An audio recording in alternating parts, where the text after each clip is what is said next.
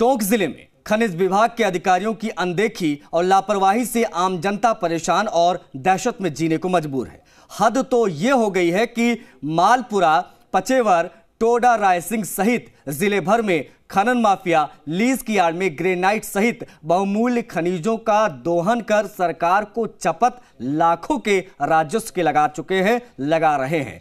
इतना ही नहीं, बिना रवन्ना के चेजा पत्थर का भी धड़ल्ले से अवैध परिवहन हो रहा है। अवैध ब्लास्टिंग से जहाँ मकानों में दरारें आने की शिकायतें भी हैं, लेकिन खनन विभाग आँख मूंदे बैठा है। ऐसे में माफिया और अधिकारियों की मिली भगत स्थानीय लोगों पर भारी ना पड़ जाए। इसी पर रिपोर्ट आपको दिखाते हैं।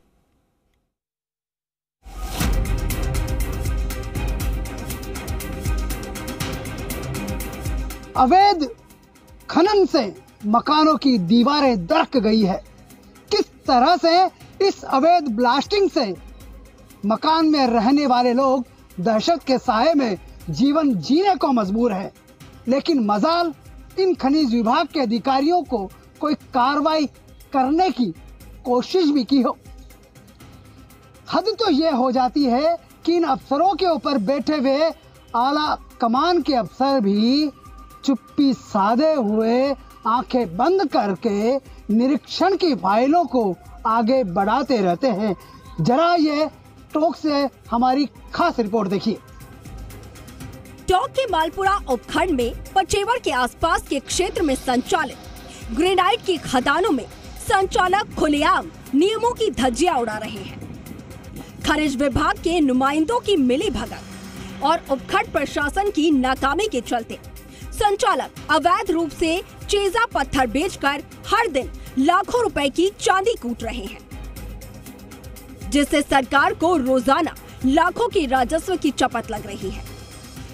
लेकिन खनन विभाग के अधिकारियों और कर्मचारियों के कानों पर जू तक नहीं रेंग रही है। आपको बता दें कि मालपुरा उपखंड के पचीवर क्षेत्र में एक दर्जन खदानों से ग्रेनाइट पत्थर निकाला जाता है, जिसमें खदान मालिक के पास चेजा पत्थर की भी लीज है। लेकिन खदान मालिक चेजा पत्थर का रवन्ना नहीं दे रहा। तो वहीं कई खदान मालिक ग्रेनाइट की लीज की आड़ में चेजा पत्थर भी धड़ल्ले से बेच रहे हैं। स्थानीय ग्रामीणों की माने तो खदानों में देर रात को ही ट्रैक्टर ट्रॉलियों की कतार लग जाती है। पत्थर की एक ट्रॉली भरने के लिए खदान संचालक के नुमाइंदे पंद्रह सौ रूपए तक की वसूली कर रहे हैं। यहाँ से प्रतिदिन करीब 200 ट्रैक्टर ट्रॉली से ज़्यादा चीजा पत्थर भरकर जाते हैं। यानी कि रोज़ाना करीब तीन लाख रुपए की अवैध वसूली की जा रही है।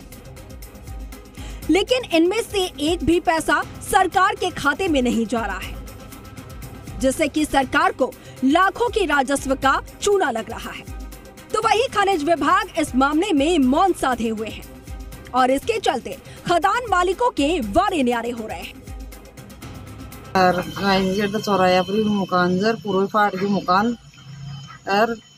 आल तहसीलदार है जो वो मकान जो वो भी न देख देख रही है हमारा मकान। और चा भैया भैया से न कमा वालो कोई कहीं कर वालो कौन मांगे तो आगे पाछो कर वालो कौन कोई माता जी नए थाने पे रहता हूँ और वहीं पर मेरा मकान है दूदू रोड पर और इन तीनों मानसों के दमेड़े से मेरा मकान पूरा टूट चुका है ऊपर से छत भी टूट गई और नीचे से भी पूरा मकान बखर चुका है अब इसका हमारे पास कोई गेला नहीं है तहसीलदार जी आए थे पर हमारी कोई सुनाई नहीं की खास बात यह है कि खदान मालिकों ने चेजा पत्थर की अनुमति नहीं ले रखी है, जिसके चलते चेजा पत्थर का रवन्ना भी नहीं दे रहे हैं। तो वहीं सड़कों पर सुबह होने के साथ ही दर्जनों ट्रैक्टर ट्रॉली चेजा पत्थर से भरकर यहाँ से गुजरते हैं। लेकिन खनिज विभाग की टीमों ने कभी जाँच करने की जहमत तक नहीं उठाई है और इसके चलते चेजा पत्थर से भरे ट्रैक्टर ट्रॉली सड़पट सड़कों पर दौड़ते नज़र आते हैं। क्षेत्र के पचेवर, सूरसागर आवड़ा अजीतपुरा हनूतिया और गणवट समेत अन्य गाँवों में ग्रेनाइट की खदानें संचालित हैं। और इन खदानों से निकलने वाले ओवरलोड वाहनों के चलते गाँवों की सड़कें क्षतिग्रस्त हो रही हैं, जिससे कि आम जन परेशान है। दराड़ा चालती है दमेड़ा बहुत जोरदार दमेड़ा होता है। इस दमेड़ा दराड़ा चाल के बख्श क्यों मतलब खरबूजो बख्शा जैन। न कोई कुमावाड़ा है न मेरे न कोई मजदूरी करवाड़ा है न बेटा बटारू। और न कि एक क्यारा जमी का है। न कोई मुकाम पास किया। दिलचस्प ये भी है कि खदानों में काम करने वाले श्रमिकों का न तो रजिस्ट्रेशन है और न ही इंश्योरेंस है। जबकि ये ज़रूरी होता है तो वहीं सरकार को राजस्व का नुकसान हो रहा है, वो अलग।